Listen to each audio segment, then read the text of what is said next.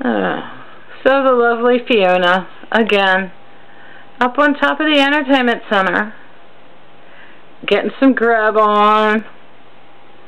Yep, yep. She's my good girl. It's almost time to weigh her and measure her again. I weigh her and measure her once a month since I've had her. Uh, last time I weighed her, she had doubled in weight. But then I tried changing her diet a little bit, and then she dropped a lot of weight. And uh, I was a little worried about that. But she seems to be plumping up fine. There's no lateral folds on the side of her. Which is good. She's my crazy fat girl. She's fat and sassy. Mm-hmm. And she came wandering out by herself. Which is a good thing. Because I want her to know that she can go through the house wherever she wants to go. If she's allowed to go. And just because she has her room, she knows her temp. And she knows when it's too hot or when she's too cold. So, and this basking spot up here actually gets pretty doggone warm. I'm just going to have to figure out a way to close it off partially or, yeah, partially to help keep some of the heat in there. She's my good girl.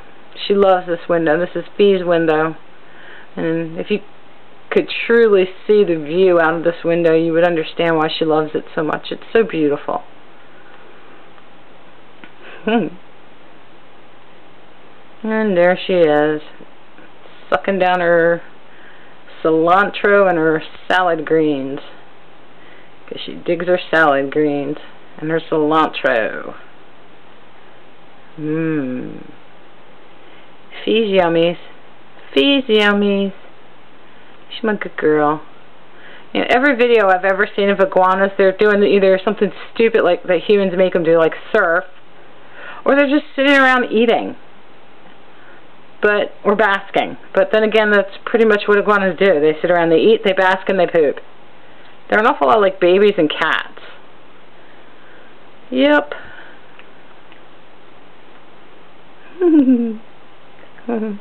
Hi, Faye. How's Mommy's baby? Yeah, she was hungry. She ate everything I gave her for breakfast in the back bedroom, and then she came out here looking for more food. So maybe that's going to be the new pattern. Wander around the house looking for food and warmth. Why not? It would be the iguana thing to do, I guess. She's my good girl. Yeah, she's dogging on that stuff. I think I never fed her today. Dear God, woman. Is that Bart's bus? We're waiting for Bart to come home. Yep. She looks like a little T-Rex. I'm going to send this video to Derek. Ooh.